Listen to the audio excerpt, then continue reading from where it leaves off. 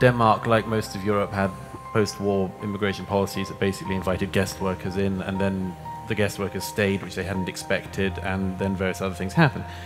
Uh, now, nobody was talking about Islam uh, in this period. I mean, it was, wasn't in Britain until the Satanic Verses affair in 1989 when the fatwa was imposed on a British novelist by the Ayatollah that we started talking about Islam in Britain, really. Yeah, yeah. And in, in Denmark, it didn't happen until 2005 when one newspaper, one newspaper editor, the editor of the culture section of Jyllands-Posten, discovered that in a set of children's books about the great religions, they couldn't find anyone to illustrate the one on Islam because nobody was willing to draw pictures of Muhammad.